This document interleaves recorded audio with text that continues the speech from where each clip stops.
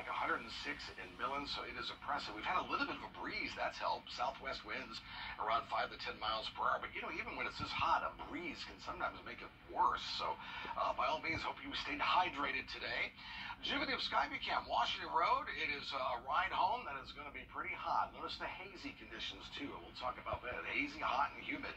Satellite view shows relatively quiet conditions. Notice the clouds to the north. That's all part, basically, of a, of a front to the north that may fire off an isolated shower or storm tonight. Not a big widespread, but I still think there could be an isolated storm. We'll look at Futurecast right about now, and I'll show you what we're looking at. By 8 o'clock, one or two little showers, maybe a rumble of thunder can pop. That will sag towards the south. As it does so through the nighttime hours, it'll pretty much give up the ghost because there's not a lot of moisture to deal with. But don't be surprised if you see a shower. Don't cancel any plans, but just Oh, by all means, stay cool because it will be warm. So here's the forecast tonight 95 by 7 o'clock.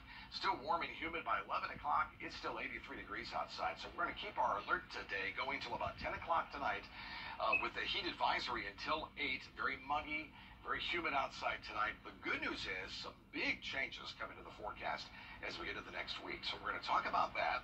And we'll look ahead to the weekend and the possibility of any showers or storms all coming up. Jenny. All right, Tim, thank you. The National Weather Service has put out a heat advisory for both Richmond and Columbia counties. News Channel 6's Ashley Jones spent the day asking people how they planned on beating the heat. She's live now on Flowing Wells Road where construction workers were working throughout the hot day. Ashley.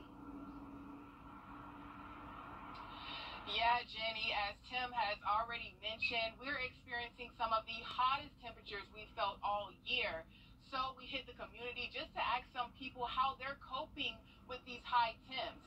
Now, most of us have heard to stay hydrated during the day to keep from suffering from things like heat exhaustion or even worse, heat stroke.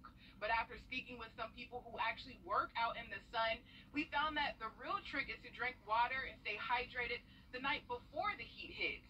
Austin Bachelor is working out here on the um, out here on Flowing Wells Road, helping with some of the construction, and he says he's gotten used to working in these kinds of conditions. I always like a challenge.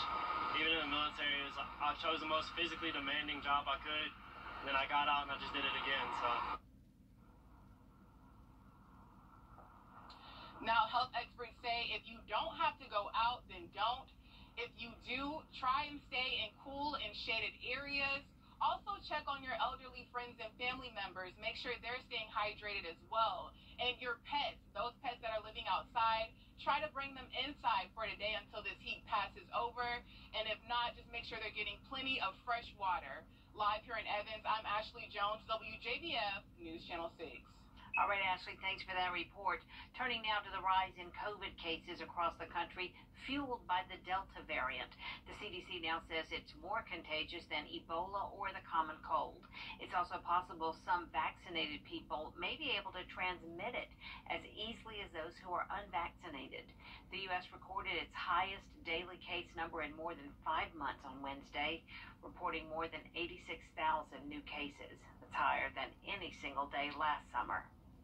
The number of COVID patients at local hospitals is going up. Because of that, starting today, Aiken Regional Medical Centers is restricting visitation. Hours are limited from 9 a.m. to 2 to 9 p.m.